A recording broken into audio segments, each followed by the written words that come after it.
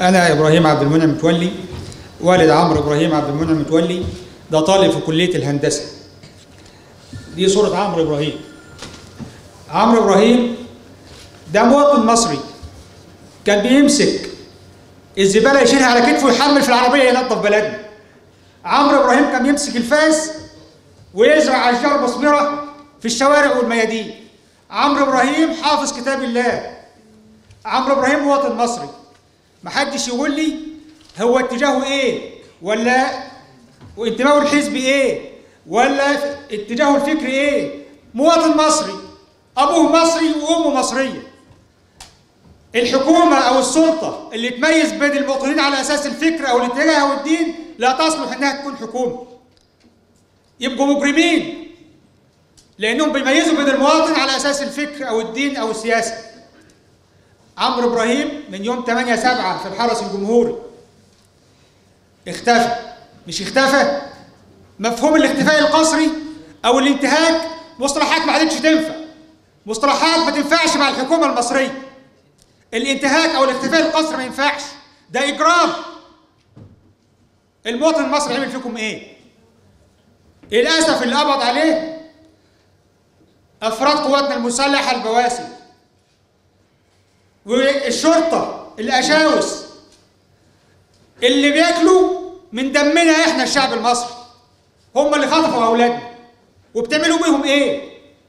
يعني أنتوا خاطفينهم بتعملوا بيهم إيه؟ سيبوهم. يفيدوا البلد ويفيدوا اهلهم عمرو إبراهيم ده مواطن مصري. عشان تعرفوا المعاناة الحقيقية اللي بتعيشها الأسرة أو تتخيلوا إن إحنا اللي زعلنا عشان الحاج اللي بت... الحاج الحاج أبو عبد الحميد لما بيتكلم إحنا هنحزن شوية وهن... وهنفوق. محدش هيحس بالمعاناة غير الأب والأم والأخ والأخت. دول اللي هيحسوا بالمعاناة الحقيقية. لو الدنيا كلها بكت وفضلت تبكي لما سمعت الراجل بيتكلم لا يمثل قيمة 1% بس بالمعاناة اللي هو عايش عايشها وحاسس بيها لأنها ملازماه. تتخيلوا أم عمرو؟ أصحى مرة بالليل الاقيها بتقول أنت فين يا ابني؟ يا حبيبي. يا ترى أنت عايش ولا موتوك؟ بتاكل ولا ما بتاكلش؟ لابس ولا ما أنتش لابس؟ بيعذبوك ولا لا؟ ربنا ينتقم من الظلمة. ربنا ينتقم منهم. أمهم بتقول كده في جوف الليل. دول اللي بيشعروا بالمعاناه الحقيقيه جدة عمرو ذنبها إيه انها تتعذب. عمرو زي ما في أسر كلها لها واحد واثنين وثلاثة عمرو مفقود. أخوه عبد المنعم محبوس من 17 3 أخوه الثاني طالب طفل في أولى ثانوي مطلوب. أنا بقالي محامي بقالي سنة وشهرين من يوم فقد عمرو ما رحتش مكتبي. حد هيقول لي ما تروحش؟ كفاية على أمي وكفاية على زوجتي ثلاثة ما بروحش البيت وما بروحش المكتب. ده مواطن مصري. إحنا لينا حق في البلد ديت. دي بلد المصريين. إحنا مش أجانب إحنا مصريين. إحنا عايزين حقنا. عرفونا بس ولادنا فين. حقي اعرف إن هو فين. اعرضوا على النيابة. قول لي هو مات واستلم جثته وارتاح.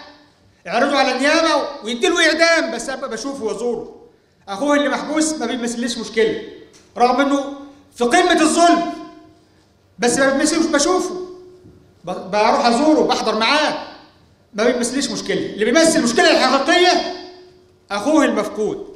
وتعرفوا للأسف أنا حزين إن يبقى فيه في مصر مؤتمر عشان ندور على المفقودين. مفقودين في مصر بلد الأزهر بلد الإسلام بلد العمم بلد المآذن فيها مفقودين مش عارفين هم فين. حرام عليهم. أنا في النهاية بقول إحنا هندور على حقنا على أولادنا. وهنطالب بحقنا. وهنعلي صوتنا. هنسمع صوتنا للعالم كله. الحكومات العميلة ما بتسمعش هنسمعها. هنسمع شعوب العالم كله بقضيه